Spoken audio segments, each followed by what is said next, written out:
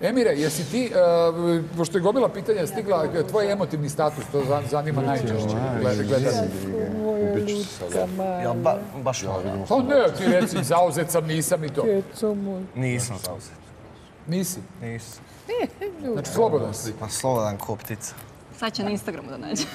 Ne, ja zadnji put kad sam rekao da imam devojku, ja sam izgubio jedno 10.000 followera. I ne pada više na pamet ništa. Muškarci muke sa followerima, jel me Pa, neko brate, to je zajebava? reklama danas. Zato što si rekao da si zauzet, Da, si 10 bila je neka jaka emisija, o- oko desetak.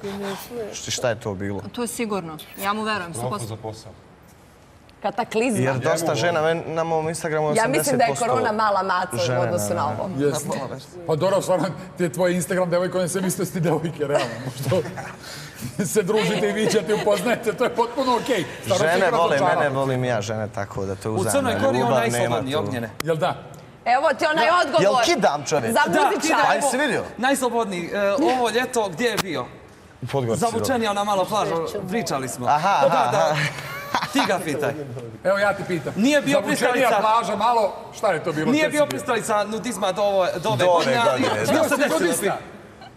Bio si go na I kakav je osjećaj? Stvarno, Bože, preuzmi. Bio si go na plaži, baš Ja go, sam prolazio barkom, vidio ga. Vidi, Ti si prolazio barkom, nisi slučajno prolazio Pa barkom. ne, naravno. Zapratio me. Vratio sam ga. Jesi ga snimio? Šokirao se. Da, to na... On kaže da je dobio na samo... Radili smo baš mi e, noć posle toga, on kaže da je dobio na samopouzdanju, da je dobio, ne znam, ja kažem, dobio si na još nečemu. E, kad god dođe mene Božo linčuje tamo u Podgorici. Znači, to je... On linčuje Bože, sve ti sve znaš o svima. Da, da. Pa prije emisije mi je rekao, pazi što pričaš. Jest. Dobro, vidjet ćemo neke božine videe uskoro i sve to.